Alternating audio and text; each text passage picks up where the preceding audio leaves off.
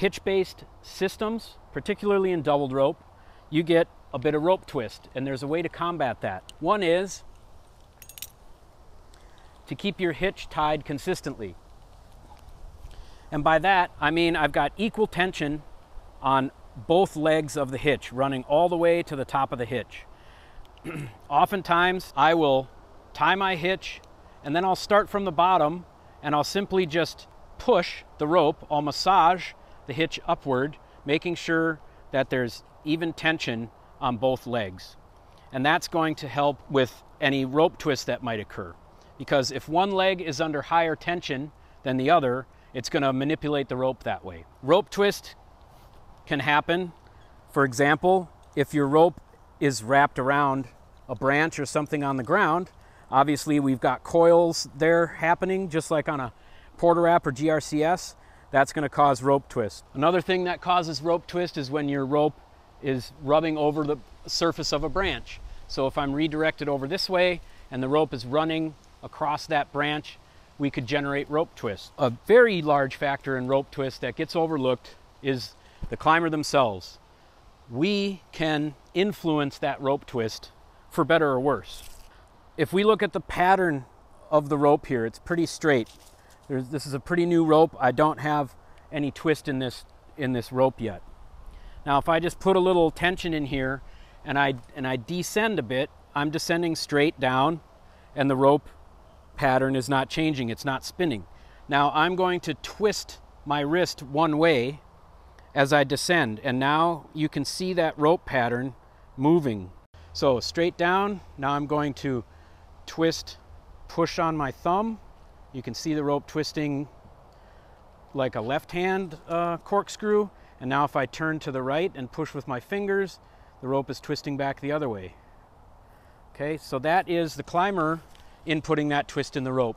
So it's important to have a neutrally running hitch. That's less apt to put twist in the rope and also just watch your positioning. So oftentimes when we're stretching way out, we might have a particular way that we like to push our arm back and we'll put twist in that rope. To take rope twist out of the rope, I generally look between myself and the anchor point. So when I look up toward that anchor point, I want to see no twist in that rope. If I have some twist in the tail, that's usually okay. I can take care of that later. But the most important point is to have a nice, clean, straight rope all the way to your anchor point and back. You'll notice I have a grommet here on the spine of my carabiner, and that helps keep that hitch from falling down the spine. Okay, that's a good thing to put in place. I really, I see a lot of photos. Maybe this is extreme, but I do see a lot of photos like this when somebody's got their hitch way down, way down on their spine, and spine there. So just watch out for that. But speaking of carabiner selection, we have an Ultra O. This is a Duralock, and we have our Perfecto. I like the Perfecto. It, it's a little bit shorter, pulls that eye splice a little further away from the hitch, but the ovals are excellent for use in this system. We keep everything neat and organized. We're playing to the strengths of that oval. Okay? If you were only to have, for example, one oval and one modified D-shaped carabiner, for example, like this shadow, okay? This is less than ideal. We're starting to load this carabiner away from the spine further toward the nose. All right. What makes this even worse is when someone flips that over because they want to be able to easily clip in and out of a swivel on their bridge, for example.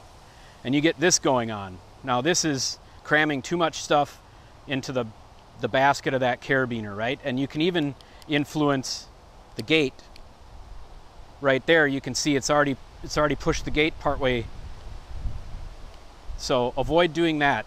If you only have one oval carabiner, then use it on the bottom.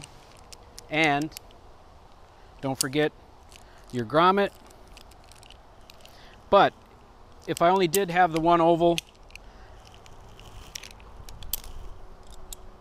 a connector like the shadow from point A to point B, right? This connector is designed to keep the load close to the spine, all right? that would be a, a, an okay place to use that. I still prefer an oval there, just personal preference. But if you do only have one oval carabiner, make sure you're putting it on the bottom. Also make sure you're connecting the hitch eyes to the bottom hole of the hitch climber. You get the most benefit out of that. So let's get climbing, okay?